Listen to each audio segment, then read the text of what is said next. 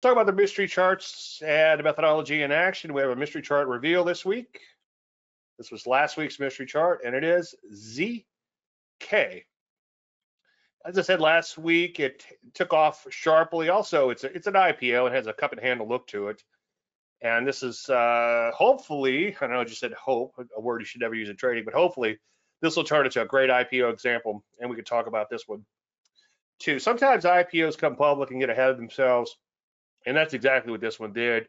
And our unwritten rule, actually our written rule, is to not buy an IPO till at least you have five days of trading. And you might go long on the close of the fifth day, and I'll show you that in just one second. But this took off nicely and it's made a cup and handle pattern and also it's a pullback it's a landry light pullback too because you had landry light and then it pulls back to the exponential moving average entry was there the stop was there and the initial profit target is up here and i'm going to use the word hope again but hopefully it'll hit that ipt which is in between where it is now and the old highs so we'll see what happens there also as ipos and i'm going to beat the dead horse a bit on this in a minute. But as IPOs make new closing highs, it's usually a bullish thing for them because everybody who owns the IPO is happy. Now that unfortunately it doesn't always work, and I'll show you where it failed miserably in a second, just to show you the good and the bad. All right. Follow up on the mystery chart, it's CLOV, and that's the original recommendation. It was first recommended on August 28, 2024, 2,000 shares per 100K.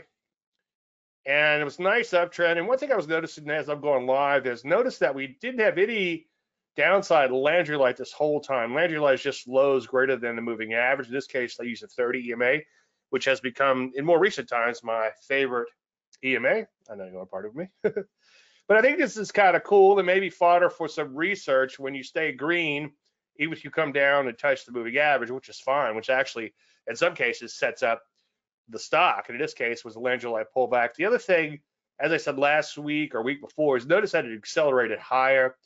And the other thing, it's like last week at Bandcamp, in general, it tends to persist higher for the most part. And this nice little rip higher it made here was on acceleration of trend. It was also very persistent. It pulled back. My line's a little off there, but you get the idea. Notice that the Landry Light went back down to zero entry was here, stop was here, IPT was here.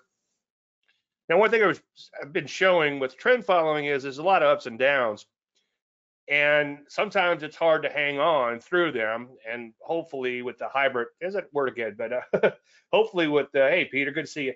Uh, hopefully, with the hybrid money management system, by banking the par partial profits, we could mitigate those drawdowns some. And on outright losses, we're only risking two percent boring overnight gaps, which I got whacked on one. I'll show you in just one second. You tell them kind of pissed.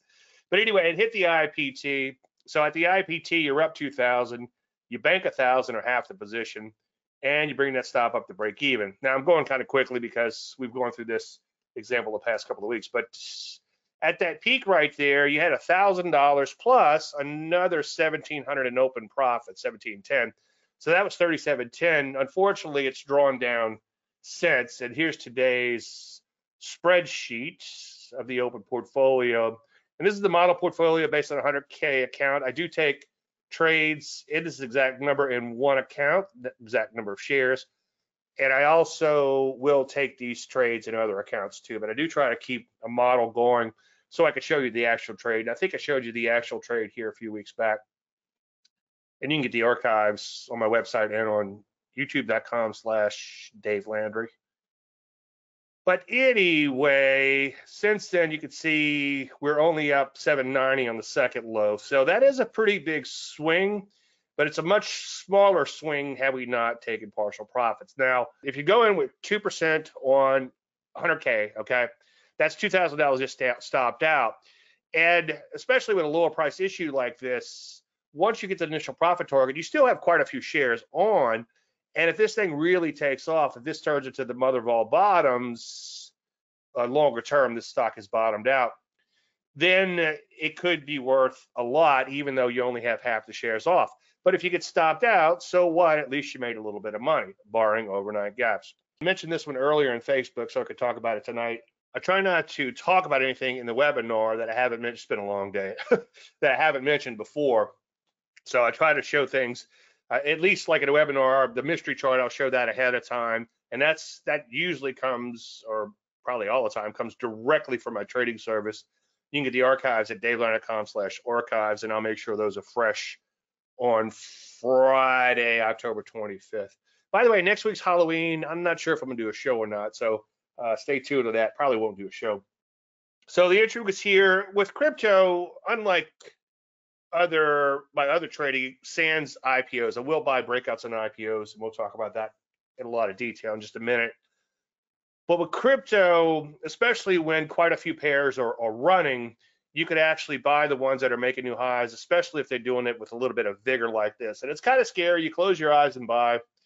And don't bet the farm on this. I've got a really small, I, well, I actually have three accounts, but they're really, really, really small. And I'm just having fun with it. And I want to see if I can parlay these accounts. And I also want to see, as I've been saying lately, when I profit from these shit coins, these altcoins, these tokens, these meme coins, and things of that nature, I want to see if I could just peel off a small amount, one at the IPT and sometimes on a spike higher, and just put it into Bitcoin. So it's kind of like my shitcoin to Bitcoin thing. Now I'm I'm hodling the Bitcoin, but there's not a lot of it. It's adding up. It's a few thousand dollars that have that have done collected in doing this. And as I say each week, if that becomes a real dollar figure, then I will probably put a little money management in it. But for now, I'm just seeing if I could make money in these altcoins and then turn around and put a little bit into Bitcoin, kind of mine off a little bit, so to speak. And by the way, I know it's a little uh, crass, call them shit coins, but that reminds me that these things are for trading. Okay, they're like sardines, right? Uh, like the old, we'll get to that in just one second, but the sardine story where the people were at the end of the wharf and they were trading sardines and sardines were just getting astronomically high and some guy bought the high tick and he goes home with the sardines and decides to open them up and eat lunch and they're rotten and he goes find the guy that sold to him and said hey you sold me some rotten sardines and the guy said you silly fool those sardines are for trading not eating so ipos stocks crypto, shitcoins, any financial market, from my perspective, and it should be from your perspective, is for trading, not eating. I'm going to breeze through this TFM 10% system. I know I say this every week, but let me try to get through as quickly as possible. Here's some bands that I set up. The 10% line is the only line that is that required for the system that in the 50 simple moving average and 10% line is just 10% below the 50 week closing high. And my thinking is if the a market is to go to zero or lose half of its value, it's going to lose 10% of its value first, kind of technical analysis 101. And the 5% band came from Jeff, who is usually here on Thursdays. I think he's here tonight. And he likes to get out when the market slides 5%. And that's that's fine. He's going to get out a little early, like in this case here, he'd have gotten out here as opposed to my sell signal, which was here. So he'd save some money on that one. But every now and then, like right here, he might get shaken out, and that's called a whipsaw. If you're a good trader, then you could just get right back in and you don't care anyway, that's the rules. You just have to be within 10% of the 50 week closing high and above the 50 week simple moving average. And a sell signal is when you close below the 10% line, okay, and the 50 week simple moving average. Now, again, this is a weekly chart. Now, the, uh, the buy is a little more stringent. You need two bars of Landry lights, and you go long on the close. Now, when I designed this, I was using stock charts, S&P 500 for my walkthrough and went back about 100 years, I think, or so. I have a spreadsheet on this that I occasionally show. And maybe maybe next week I'll dust it off or a week after. But anyway, going back 100 years, I didn't think about in, in the testing. I didn't think of it. The point I'm trying to get to, I'm kind of got three different thoughts in my head, but one the, the main point I'm trying to get to is this is on a calendar basis. So you would get out on a on a Friday when this occurs, and that's something I didn't really think about. That maybe in a week you could have something here, but for now, and the way I've been following this and tracking it, it is on a Friday, so it's a weekly closing charts and not a rolling closing chart or rolling weekly chart, I should say. Anyway, the sell again, you close below 50 week moving average and you close 10% or more away from the 50 week closing high. Notice that that moving average is catching up to the 10% line. Once or if the moving average surpasses the 10% line, then the 10% line is your sell signal because it'll be below both the 50 and the 10% line. Anyway, sell's right there. So it's got a ways to go to get to a sell, especially since we just hit new highs. Now, last week I said, notice that the zones are shifting higher because the market made last week new 52 week highs. Unfortunately, so far this week, and I know the week ain't over yet, but so far this week it has not. So you notice that the zone began to flatten out. So you can see it's going sideways in here for one week. So we'll see what happens. Now here's the cues. Like I said, I bought 100 shares for S&Gs. Didn't think it would turn into anything. And fortunately it did. And right now you can see, let me just back this out a second. The 10% zone and the 50 simple moving average are right around the same level. So your sell signal again would be right there. Now notice here that it hasn't made new highs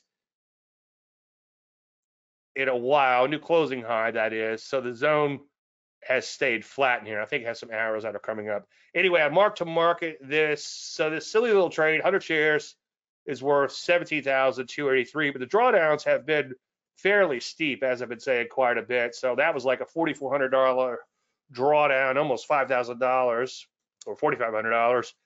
And uh, that was like 60 or 70% of the open gain. So that one was a little painful. And technically, on a trigger, a sell trigger, it could have actually went negative after being up whatever it was, five grand or whatever it was there.